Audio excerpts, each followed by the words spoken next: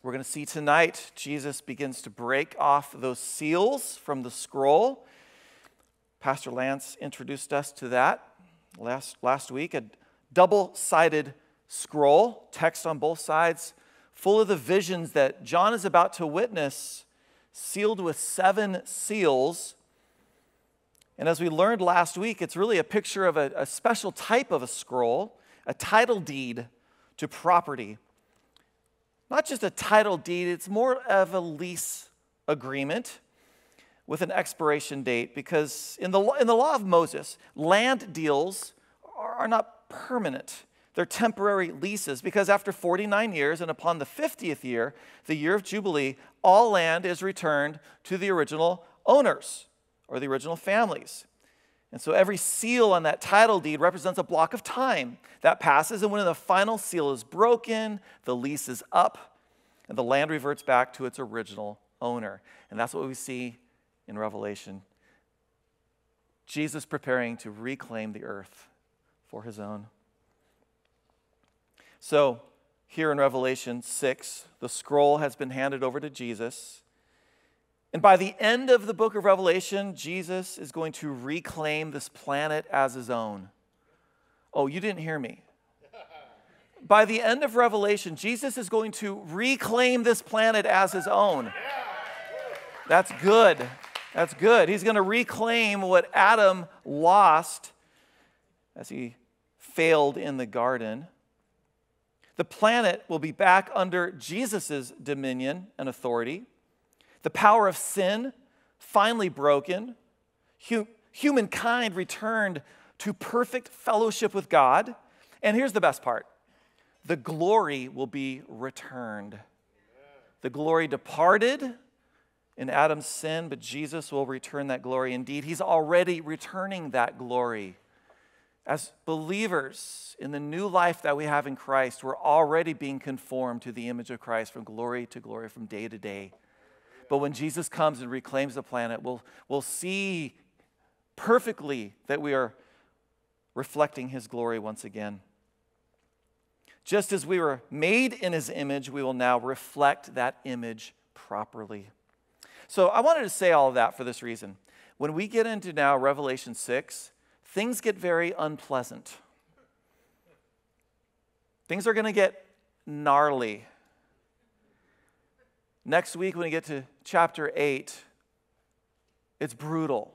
And we're going to see chapter after chapter after chapter of some really heavy stuff.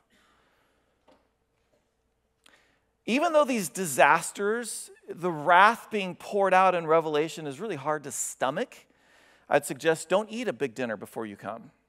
Go light, okay? It's going to get pretty gross. Don't forget what lies at the end of this our world totally restored to Jesus. The story told in Revelation is actually good news. Sounds like bad news, but indeed is good news. In fact, I was just reflecting on this. I want to read this now as we go, go to the Lord in prayer. Blessed is he who reads and those who hear the words of this prophecy and keeps those things which are written in it, for the time is near. Blessed is he who reads strives to understand, tries to live this out, there's a blessing in this. This is good news. We have to go through some chapters of heavy things, but let's not forget what lies at the end of this. I'm going to ask you just for a moment to stand with me as we pray.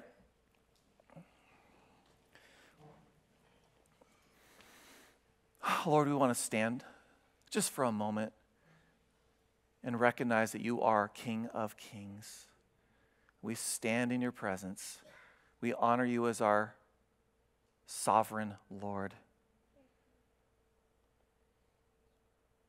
We set you on high in our hearts tonight as King of Kings. We're not waiting for your return at the end of time.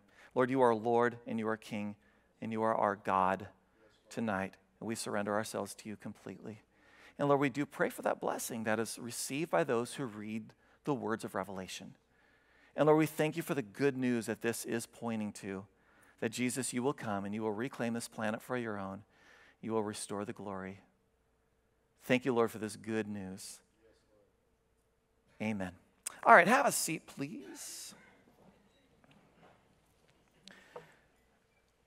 Something we mention almost every week as we study Revelation is this overall question how do you interpret this book? Different Christian groups and denominations and churches historically have had different interpretations of Revelation. I believe Pastor Lance outlined those for us. Or maybe it was Jordan. I think Jordan outlined those for us, our first study in Revelation. And so these visions might seem very esoteric, maybe open to subjective interpretation as you read these visions. You're like, well, to me it means this, and to, you know, and everyone can kind of have their own interpretation. But I want you to realize something. As John is delivering to us the vision of the revelation of Jesus Christ, he isn't making up new material that has to be decoded all on its own. The visions of Revelation have been seen before in Scripture.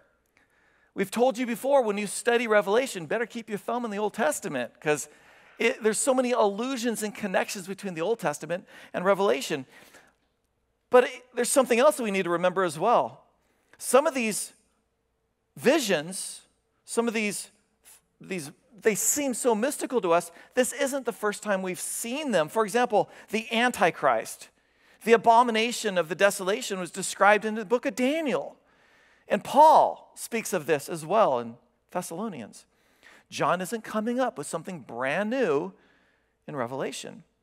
As we see these seals broken in chapter 6, you did turn to Revelation 6, right? You're there. Okay we're going to see seven seals beginning to break open as we've, as we've, as we've described now. Understand that these are the same events that Jesus teaches his disciples of in Matthew 24. John isn't creating some brand new scenario that we need to kind of interpret on our own. Jesus has already told us what the last days will look like. So I'm going to invite you tonight to keep a finger in Matthew 24. Edwin, go ahead and shoot up this, the next slide for us. I have an outline real quick. I know you can't read it, don't panic. Quick outline. We're going to go point by point with, with it'll blow up. We're going to blow up each of these points into big screen so you can see it. But just real quick, notice this. We have the seals, the first, second, third, fourth, fifth seal. And, and just a quick you know, picture what that seal is about. First seal is going to talk about conquest or a conqueror. The second seal will describe war, worldwide war. Third seal, famine, economic disasters. I see people trying to take pictures of the screen. Trust me, I'm going to make it bigger for you. I will. I just want to see the, this the whole picture now. The fourth seal, death. The fifth seal, the martyrdom of the saints. The sixth seal, natural disasters, stellar disasters, signs in the heavens. The seventh seal, which we won't really go into depth in until Revelation chapter 8, but we'll see divine judgment. But here's the thing Jesus speaks of these things in Matthew 24. He speaks of a conqueror, he speaks of deceiving the deceiving antichrist and the false prophets. He speaks of wars and rumors of wars in Matthew 24. He speaks of famine and pestilence. He says about death that unless those days were shortened, no flesh would be saved. So much death that God would have to stop the tribulation for any hope of any human life to survive. And Jesus, of course, speaks of martyrdom, warning his followers that they would be delivered up to tribulation he speaks of natural disasters in Matthew 24, that the sun and the moon would be darkened and stars would fall from the sky. And then Jesus in Matthew 24 begins to tell parables of an impending judgment, the day of the Lord coming. He speaks of parables of a returning master, and people need to be ready and prepared for that. So, as we study through uh, Revelation 6 tonight, I will be jumping to Matthew 24. We're going to read a lot of Matthew 24 tonight, so be prepared to jump back and forth. All right, let's get to the text, chapter 6, verse 1, Revelation. Now, I saw when the Lamb opened one of the seals. Let's review back to a couple Sundays ago. Why is this Lamb, who is Jesus, why is he worthy to open the seals? Is it because he's mighty God? Is it because he's almighty God? We might think so. Maybe because he's the King of Kings, maybe because he's the Lion of Judah. All these things are true of Jesus. But what John specifically says makes him worthy, or what the creatures are proclaiming makes Jesus worthy, is this because he was slain and has redeemed us to God by his blood. It's because what Jesus did on the cross to redeem us for God. That's why he's worthy to take the scroll and break open the seals. He's worthy because he died and rose again. He's worthy because of his lamb like sacrifice for us, which is why he's both lion and lamb, the king of kings, but also the servant of all who laid down his life for all. It's important to remember when we see, we're even going to see the phrase tonight, the wrath of the lamb. Remember what he did for us on the cross. And we keep reading. And I heard one of the four living creatures saying with a voice like thunder, Come and see. Come and see will be repeated before each of the four signs of the riders, the, the horsemen tonight. I can understand this. Can, can you just put yourself in John's shoes for a moment? And God shows you visions of these angelic horsemen that we're going to look at, and, and they are bringing with them worldwide disasters. John would be falling on his face in fear of these things. And the angel says, John, I, I need you to take a look at this. Come and see. Don't hold back. I need you to come and see. He has to bring John into these frightening visions. Verse 2 And I looked, and behold, a white horse. He who sat on it had a bow, and a crown was given to him, and he went out conquering and to conquer. Let's go ahead and put up our first seal here. There it is right there. So I told you I was going to expand it for you. So we have the first seal a white horse rider with a bow. He's a conqueror. A lot of uh, Bible commentaries will say this is just a sign of conquest, just a general idea of conquest on the earth, that nations are, are wanting to take over other nations. But we get to that with the second seal. Uh, really, what we're looking at is a specific conqueror, the same conqueror that Jesus speaks of in Matthew 24, the Antichrist. Let me explain this for a moment. Let me explain this. When you see a white horse in Revelation, who do you expect that might be speaking of? You, you might think it's Jesus, because you know, oh yeah, Jesus rides a white horse. But when does Jesus come riding in on the white horse? At the end of the story, as a, you know, to, to bring the, the final judgment. No, this conqueror is different. What weapon does Jesus wield when he comes riding in on his white horse? A sword. What weapon is this rider wielding? A bow. So this is not the same. No, this conqueror is different. He's a horse archer. Now, horse archers, we have to speak about this kind of historically. Uh, they have a significant place in world history. Armies of horse archers were often unstoppable in ancient warfare. For example, think of the Mongols. The Mongols established the largest land empire in history. And what was their primary weapon? Horse archers. A thousand years before those Mongols, as John was writing in Revelation, the most notorious horse archers were the Parth- Parthians. These are the riders who came out of Persia. Now, these dudes were going, understand this, they're going head to head with the Romans and winning dramatic battles, even when they were greatly outnumbered. It's no easy trick. Their most devastating tactic was to engage the enemy infantry and then just kind of peel away as if they were uh, running away in defeat, like, oh gosh, these, these enemies are too much for us, they'll peel away. But as they begin to peel away, the, their enemies will begin to drop their shields and begin to run forward, breaking ranks. And at that moment, the Parthians had a devastating tactic. They were able to spin around in their, in their saddles and unleash their arrows. So the moment that their enemies would break ranks and begin to pursue, the Parthians would let go with some deadly uh, shots.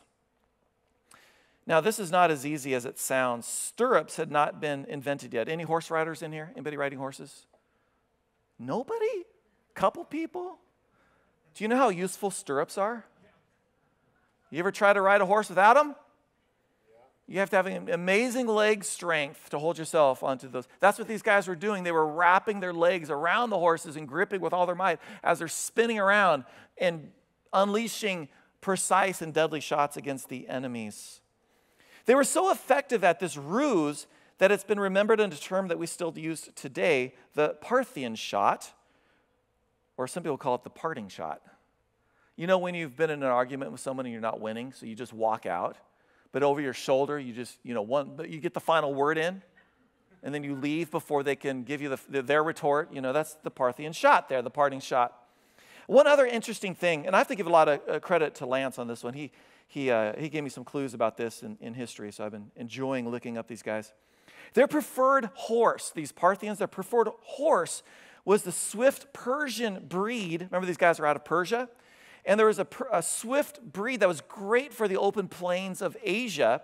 And their favorite variety was the Appaloosa, which is a white horse with black spots, or the Palomino, which is a, a light tan horse with a white mane and a white tail. So it's interesting that John is seeing a white horse rider with a bow because at the time the Parthians were taking it to the Romans. Now, he has on his head a crown. I think we just mentioned this last week. I remember we, we heard this already, but the crown here is not a ruler's crown. It's not a diadem, but rather it's the victor's crown, the Stephanos. This is a crown that was won in competition or in battle. So this guy isn't a king by right, but rather he's seizing it by force. So most conservative Bible scholars, if they believe in the literal last days, seven year tribulation, like we teach here at Calvary, they believe this is the vision of the Antichrist. And here's why. Please turn to Matthew 24, as we've mentioned.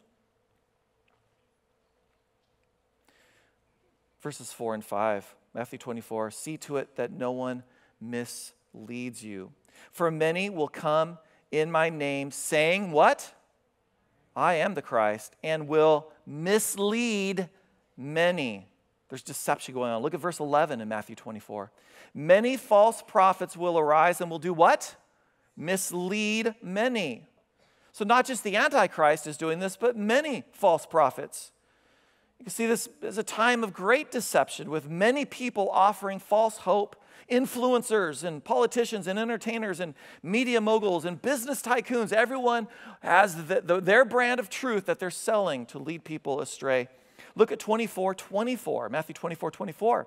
Then if anyone says to you, Behold, here's the Christ, or there he is, what should you do? Do not believe him. For false Christs and false prophets will arise and will show great signs and wonders, so as to mislead, if possible, even the elect.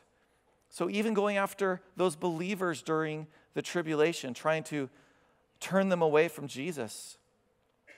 In 2 Corinthians 11, don't turn there, don't turn because we're, we're still here in Matthew 24, but in 2 Corinthians 11, Paul warns us that Satan can transform himself into what?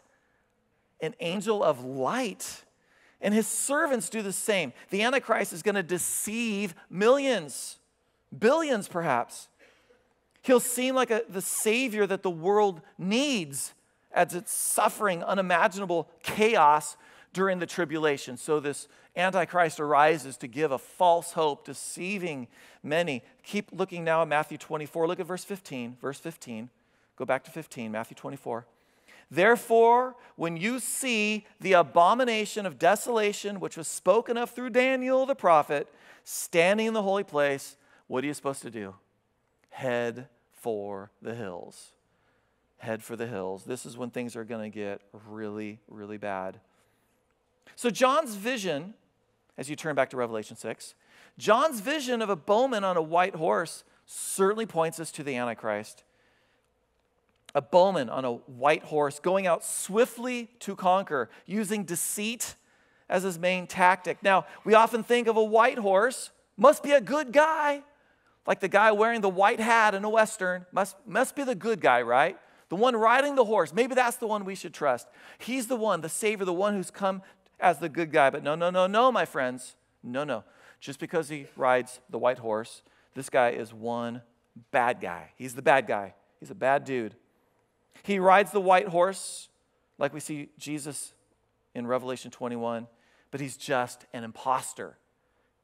He's an imitation. He's fooling everyone. He's going to be fooling everyone. All right, Revelation 6 now, verse 3. So, what's our first sign? White horse rider with a bow. Don't forget the bow.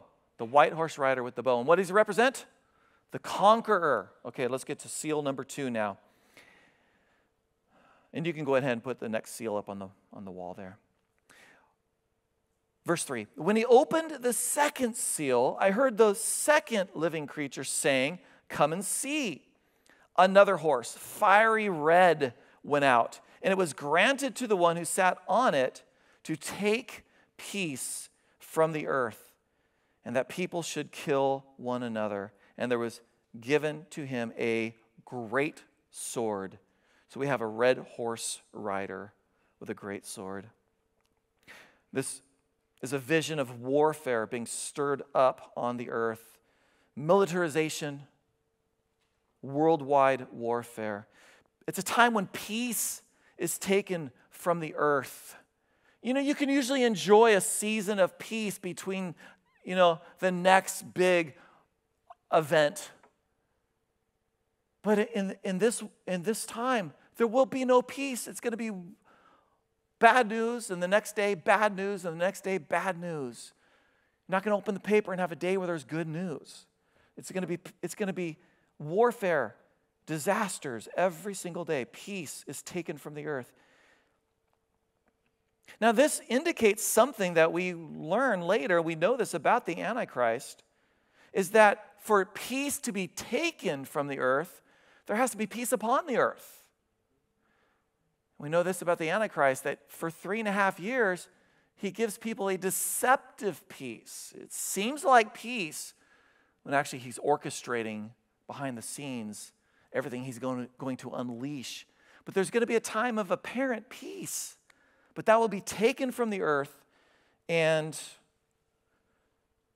all Hades will break out. Can I say HE double hockey sticks up here? Yeah all hell will break loose. There it is. The word for kill here in Greek is, is the word slaughter, butchering, violent killing. People butchering each other. This is a Greek word that's only used by John in the Bible when John describes Cain murdering Abel a slaughter, butchering.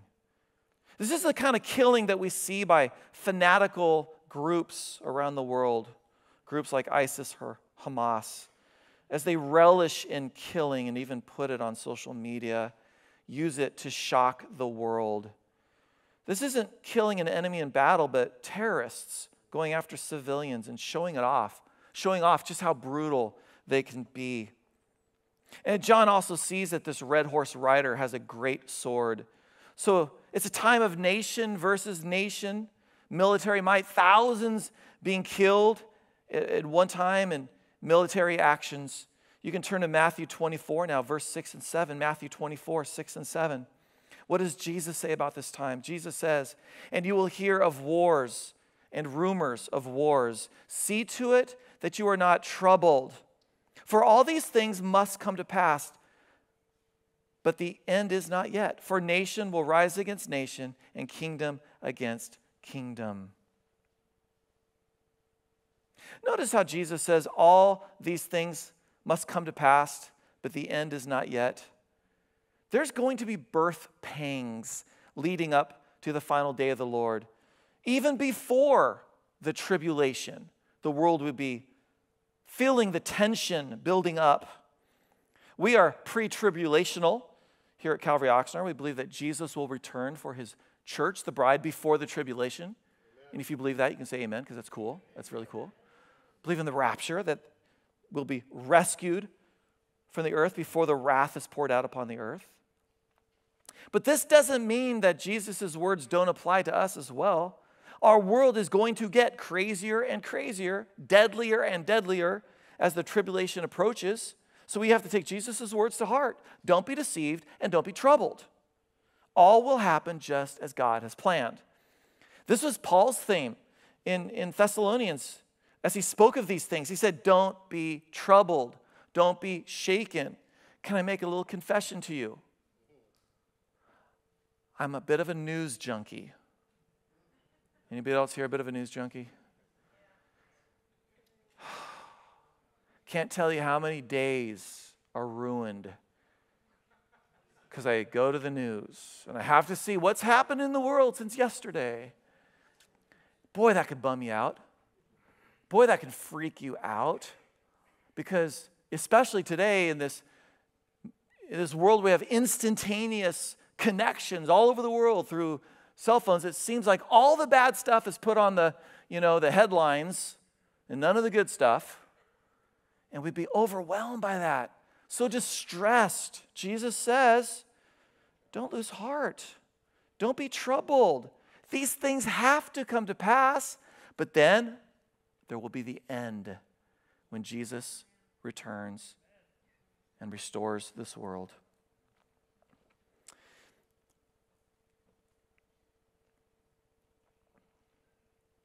Let's go now to Revelation 6, verse 5. Revelation 6, verse 5. When he opened the third seal, I heard the third living creature say, Come and see. So I looked, and behold, a black horse, and he who sat on it had a pair of scales in his hand. And I heard a voice in the midst of the four living creatures saying, A quart of wheat for a denarius, three quarts of barley for a denarius, and do not harm the oil and the wine. The third seal is, is famine, a black horse rider with scales. This is describing a time of major economic collapse in the world, which leads to famine. Jesus confirms this, Matthew 24 7. Don't turn there, this is real short. And there will be famines, pestilences. Now, John shows us here in Revelation 6 the impact of the famine in terms of, of bread. Bread is sort of the currency of, of this, is, is how much is this bread worth? So he says you, you need to work a full day. That's what a denarius is worth, one day's, one day's wages. You need to work a full day for one meal consisting of basically a nice loaf of bread. You can make a pretty nice loaf of bread with wheat. But what if you need to feed your family? What if you have a whole family relying on that denarius? Then you got a problem. You can't afford the good wheat. You need the cheap wheat or the barley. The barley, that's the cheap grain. With that, he says, you could make three small meals. So, one meal a day for a family of three. But how many families of three do you think there were in John's day? And there's in a lot of places in this world, most families aren't a family of three, but you have families of seven, eight, nine, ten in rural in rural third world areas. These are going to be very lean times. Now, barley was used for food, but it was food for the poor and it was food for the animals. Uh, Jesus multiplied the loaves of what kind of bread? Do you remember in the story of the 5,000? He, he multiplied loaves of barley because that was the bread that was brought to him by the poor little boy with his, his bread and his fish. Jesus took what was offered, the barley, and made a delicious meal, but it was barley. It was the same kind of grain that you would use to feed your animals. Now, if you only have one day's work for three little portions of barley, are you feeding your animals? No, the animals are long but slaughtered and, and gone and eaten. John says, don't harm the oil and the wine. It means it's, it's off limits. You can never afford the oil and the wine during this time. There's no luxuries available. You're living on a, you know, just a day to day on a meager income, just barely enough to survive. You're not making enough for rent. You're not making enough for a mortgage or savings. You're not making enough to feed your animal, barely enough to feed your family. You're probably living in a tent or under a tarp and you're getting hungrier each day. One of the worst economic collapses in recent history was Germany after World War I. For a lot of reasons, I'm not going to go into all the reasons behind this, but just consider the economic collapse. In 1914, a German mark, which is, I guess, their version of the dollar, four German marks to one US dollar. So, four German marks to a US dollar. By 1918, it was eight marks to a dollar. So the value has been cut in half. By 1919, it's 48 marks to a US dollar. How's your savings doing at this point? By 1922, 320 marks to a US dollar.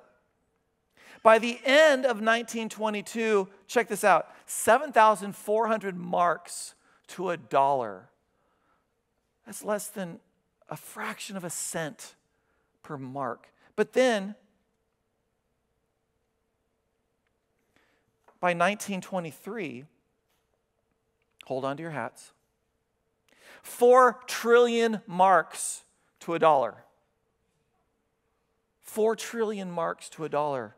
If you got paid, you'd have to throw all of that cash and they were making these denominations of, of millions. A, a, a, mark with, you know, a German mark worth millions of marks. You throw them in your wheelbarrow, you run to the grocery store, and you hopefully buy something before the prices shoot up beyond your ability to buy something. Forget putting it in the bank. Truly, at that case, the money was not worth the paper it was printed on. The paper itself was more valuable than the value of the money. More recently, Venezuela has, has seen unbelievable inflation. They had 274% inflation in 2016, 863% inflation in 2017. By late in that year, 2017, that wasn't that long ago, stores stopped using price tags because the minute they put a price tag on something, it was already ex- way past that in price. They couldn't put the prices on it fast enough. So you just have to go up to the cashier and ask, What is this worth now? And they give you a little estimate. At that point, the best way to make money in Venezuela was check this out in video games. One of the, the, one of the only ways to survive is go into these video games where you could mine virtual gold and tr- trade it for virtual money online, other currencies. By 2018, inflation was 130,000%. In 2019, it was 10 million percent. Overall, 53 million percent inflation from 2016 to 2019. How did your savings do at that point? What can you buy with that money that you had in 2016? Now, those inflationary disasters were regional Germany, Venezuela. It was limited to a national currency. You had one currency that just collapsed. Maybe people could buy and trade in, in other national currencies or, like I said, online. But imagine now something like this on a worldwide scale where all of the money, all of the wealth suffers this economic collapse. Okay, that was scary. Let's go on to the next one. The fourth seal. The fourth seal. You think that one was scary? Check this one out. Now we have death, a pale rider, or the, uh, the rider of a pale horse, with death following in his wake. Let's read Revelation 6, verses 7 and 8. When he opened the fourth seal, I heard the voice of the fourth living creature saying, Come and see. So I looked, and behold, a pale horse. And the name of him who sat on it was Death, and Hades followed with him. And power was given to them over a fourth of the earth to kill with sword, with hunger, with death, and by beasts of the earth. Let's start with the color here. It says pale. Eh, it's kind of our English word that kind of maybe best fits for us, but it's not really the best idea of that word in Greek. The Greek word is chloros. It's where we get our words chlorophyll or chlorine. It's often used to describe in Greek young grass, grass that's not fully green yet, but it's yellowish or grayish green. Some suggest even that that chloros color is, is sort of a semi transparent, like a ghostly image, perhaps. So imagine this, my friends, as we see pale, a pale horse. It's more like a pale green and kind of ghastly, kind of ghastly pale green, a yellowish, grayish green color. One commentator calls it the color of corpses. You remember that scene in Lord of the Rings when Frodo falls into the and all the all the dead bodies. I still get I get creeped out by all those dead bodies there. It says Hades is following after the writer. Hades is a Greek term uh, used, by the, used by the Greeks as, as the, just the general place for the dead or the grave. It's not necessarily hell in every, in every sense that we use that word. So John is basically seeing death in the wake of that pale horse. Wherever that pale horse rides, death follows after him. Graves receiving bodies wherever he rides. And it says that death in Hades is given authority over a fourth of the earth through really it's just all the causes we've read of already war, famine, killing, natural causes, beasts of the earth. Now, this doesn't mean that they're all killed at once, but just in general, through this whole tribulation time, people are dying of all of these causes, and this death rider has been given authority in, in that area. Jesus speaks of this, Matthew 24 again. Uh, go ahead and turn back to Matthew 24. I already read this one, but verse 7 says, There will be famines, pestilences, and earthquakes in various places. So there's the famines. But look at verses 21 and 22. 21 and 22. Matthew 24, 20, 21 and 22. For there will be great tribulation, such has not been seen since the beginning of the world until this, this time no, nor ever shall be. And unless those days were shortened, no flesh would be saved. But for the elect's sake, those days will be shortened. So Jesus in Matthew speaks of a time of great death. The, the real time, as we understand the, the sequence in the tribulation, is, is that most of this will happen during the second half of the tribulation, during those second three and a half years. And if God was to let that period of time continue, all life on the planet would be exterminated. This is death and destruction on a huge global scale. The coming tribulation is going to be greater, Jesus says, than any other time of upheaval ever experienced on the earth. More than the Black Plague, more than the Spanish flu, more than the Great Depression of the 30s, more than World War I, more than even the greatest death event in human history, World War II. There's something here which I need to point out now that's key to, to interpreting Revelation. As Jesus describes the events in Matthew 24, and as John describes these events with each seal in Revelation 6, these events are worldwide, are they not? This is worldwide calamity that we read of, right? Hello? Yes? These are not just local events. You see, our preterist friends want to interpret Revelation in a local sense, that these things just applied to the area of Israel, to, to really specifically Judah, Jerusalem, as Rome attacked, eventually destroying the city in 70 AD and leveling the temple. And so they, they want to interpret all of Revelation in those terms of just that local battle that happened between Rome and Judah. If Jesus was simply describing something on that scale, he wouldn't say nation rising against nation and kingdom against kingdom. He would have said a nation would rise against Judah or something like that. But he's talking about a worldwide war, something only possible since the modern age of transportation when you can send your armies across the globe on ships and airplanes and trains. So I think our preterist friends aren't quite understanding now the, the scope of this. It's worldwide. Jesus says there's going to be earthquakes and famines and pestilences in various places. And there will be wars and rumors of wars. You're going to be hearing of wars far away, rumors of wars. If you try to connect John's visions and Jesus' words in Matthew 24 and these passages to actual events in the first century, you're going to be totally stumped. What, what do these things mean? Where do they line up? Where's, where are those events from 70 AD in, in here? And it's total guesswork. You know, the general Titus was, the, was in charge of the armies that invaded Jerusalem in 70 AD.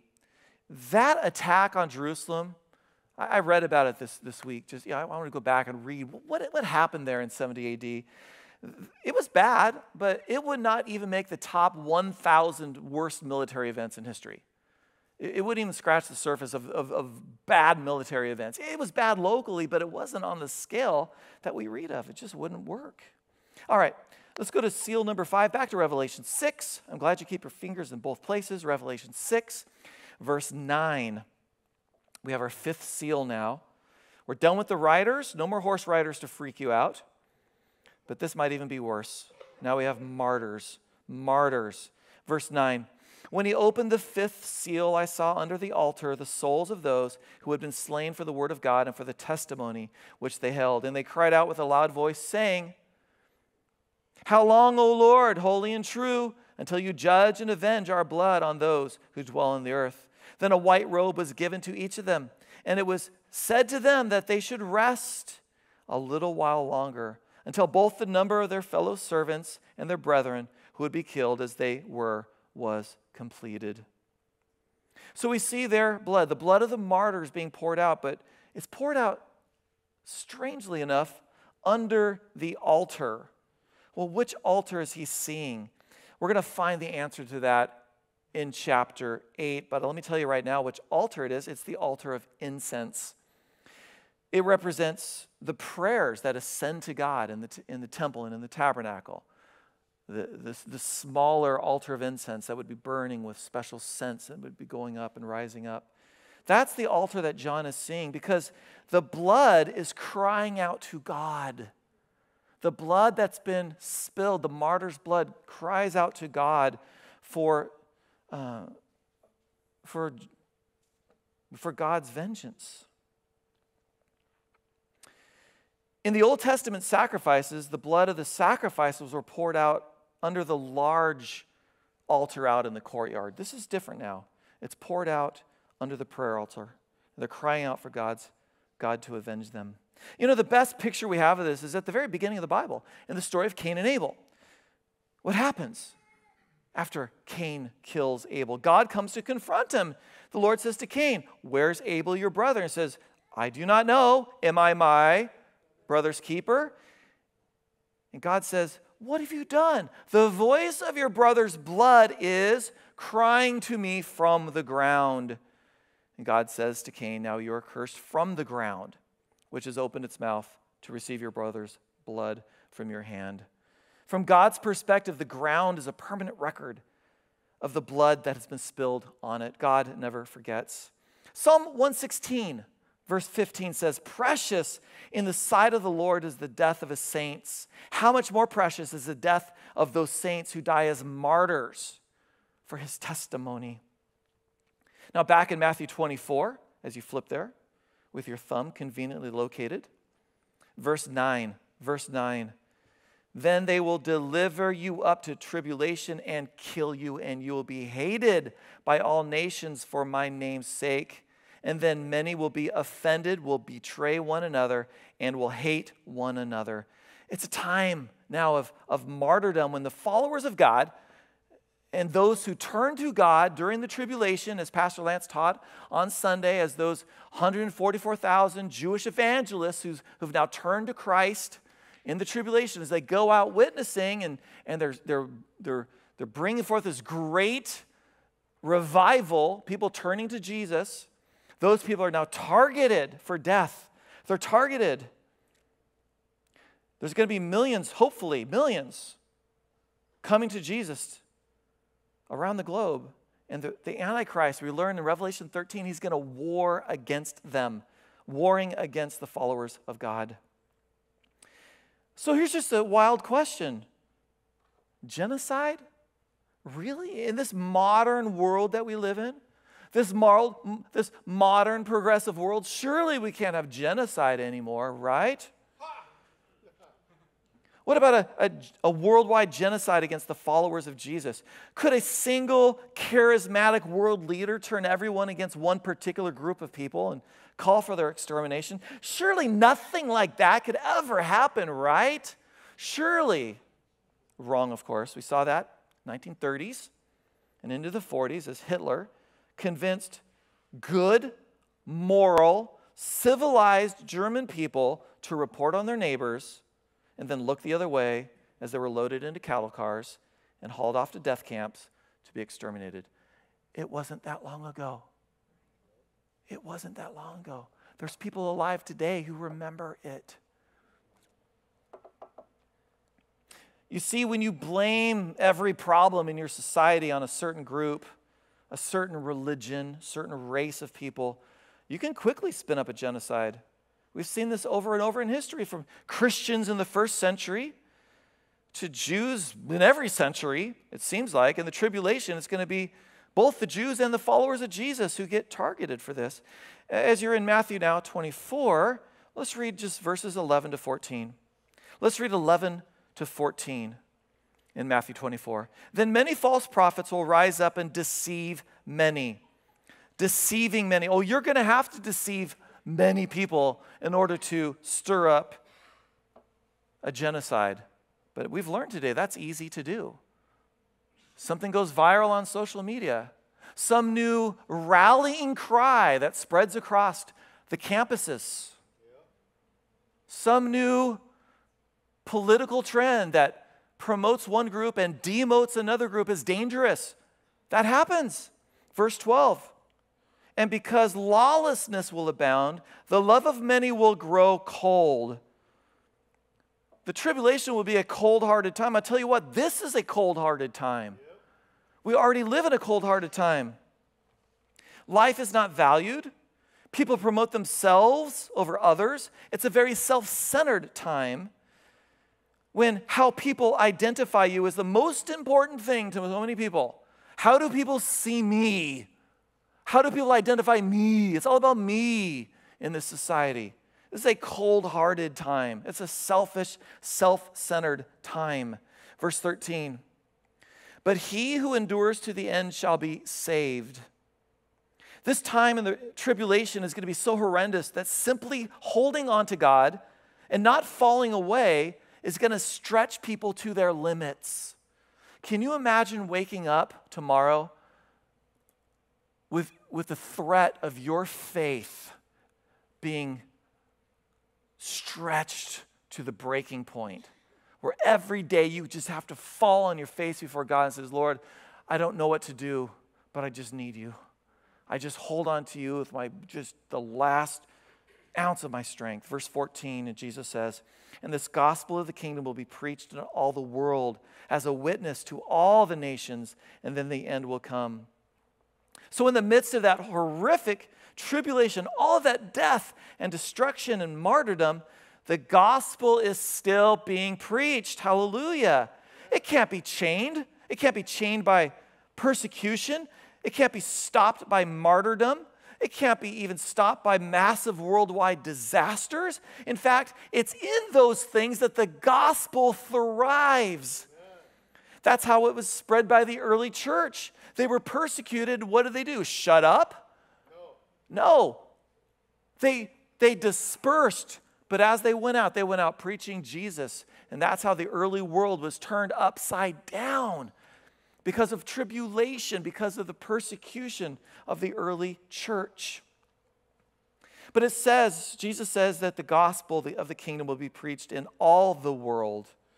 That's one of the biggest proofs that the last days are still in the future and not already fulfilled in past history, because the gospel still had a long way to go in 70 AD until the ages of travel and com- communication that we have today around where now the gospel can go to every tongue and every tribe and every nation upon the earth.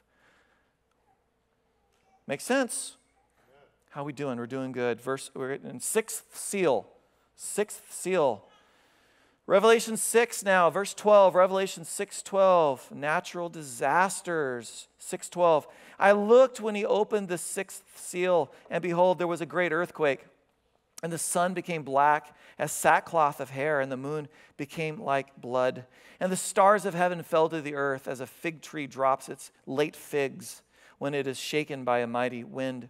Then the sky receded as a scroll when it's rolled up, and every mountain and every island was moved out of its place. And the kings of the earth, the great men and the rich men and the commanders and the mighty men, every slave and every free man hid themselves in the caves and in the rocks of the mountains and said to the mountains and rocks, Fall on us and hide us from the face of him who sits on the throne and from the wrath of the Lamb.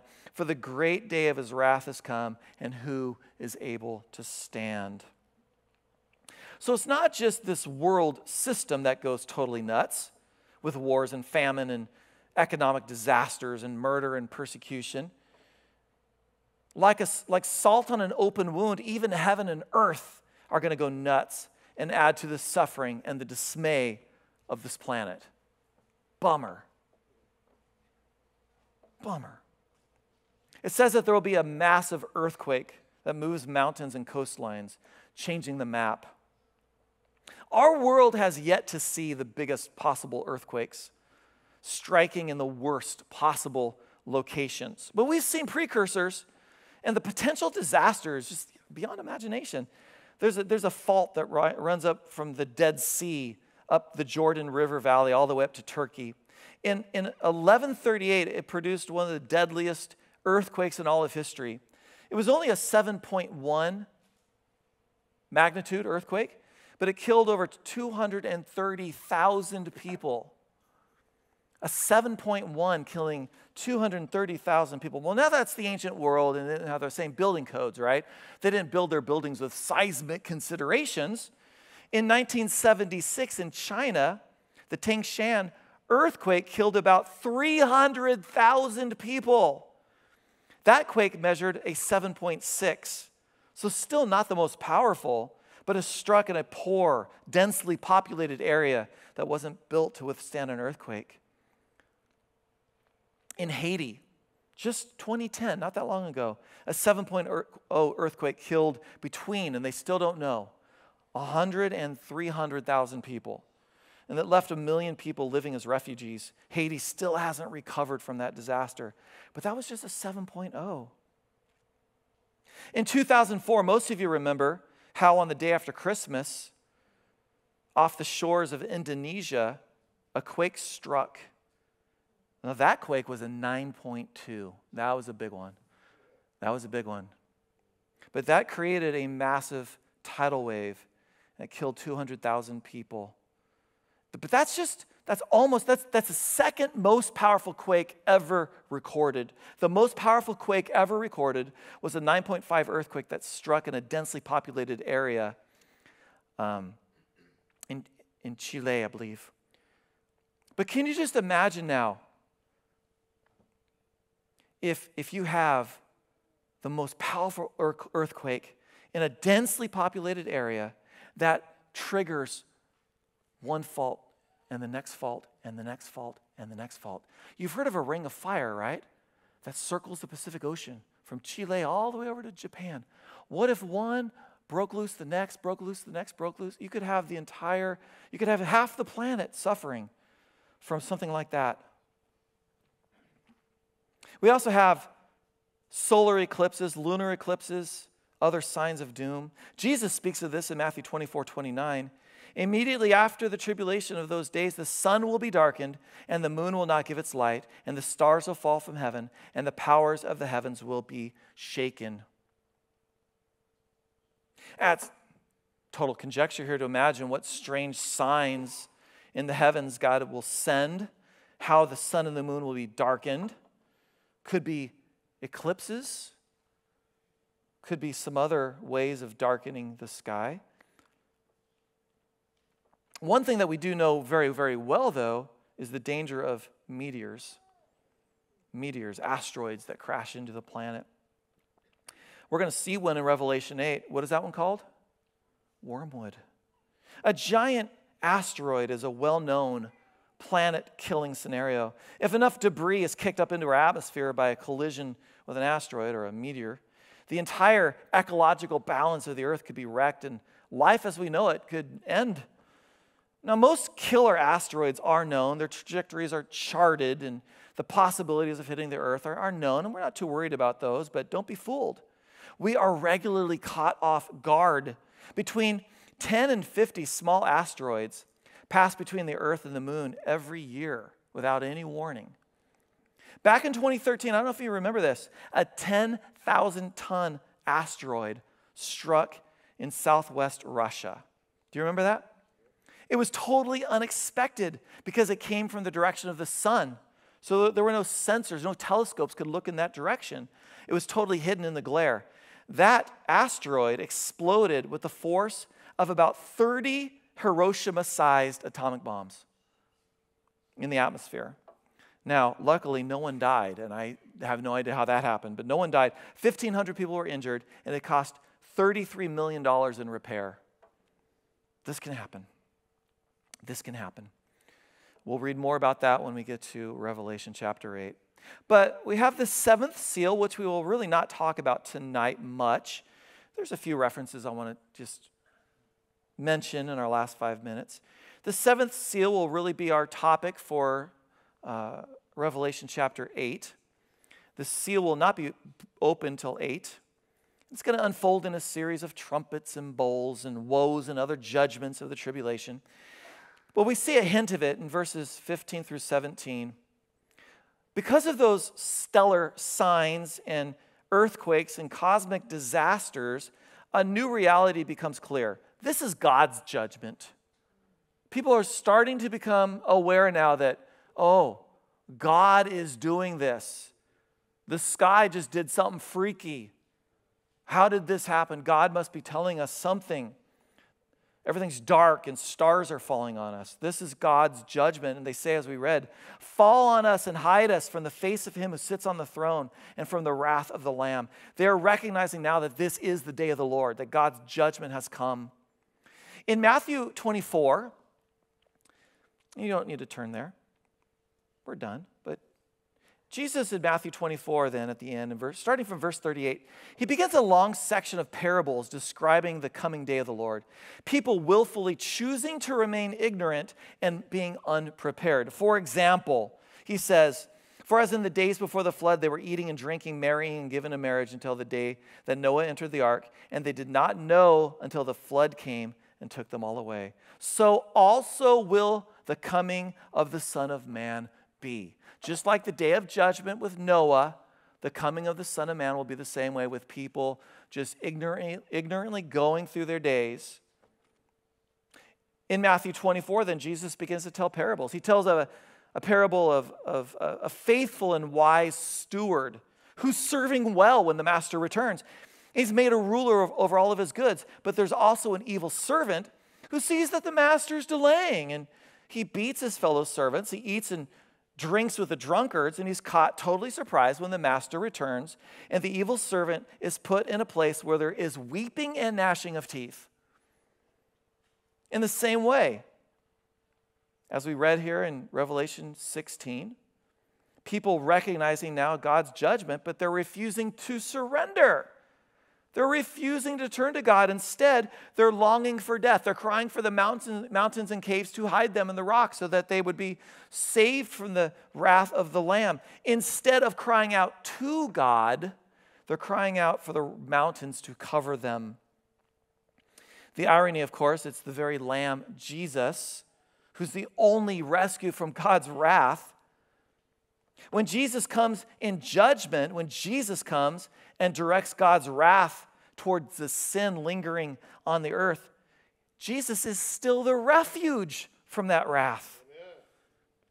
The very same wrath. You can either run from God and fall under judgment, or you can run toward God and receive salvation and refuge from judgment. Our response in times of trouble should always be one thing repentance. Repentance. Whenever there's bad news, repentance. Whenever you're having a bad day, repentance. When this earth, when this world goes completely nuts, one response, repentance.